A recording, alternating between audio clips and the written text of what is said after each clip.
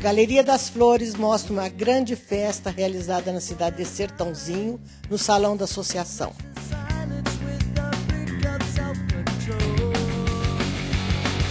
Para a decoração foram utilizados lisiantos, astromélias, bocas de leão e botões de rosas.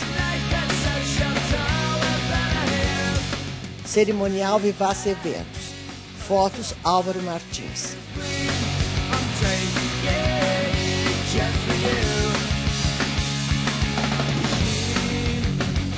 Galeria das Flores, a certeza do sucesso na decoração da sua festa.